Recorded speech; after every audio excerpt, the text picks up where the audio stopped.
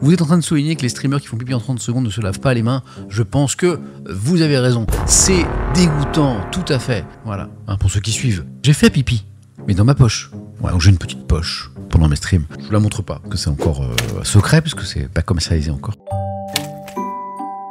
La poche Étienne, pour vous soulager sans vous déplacer.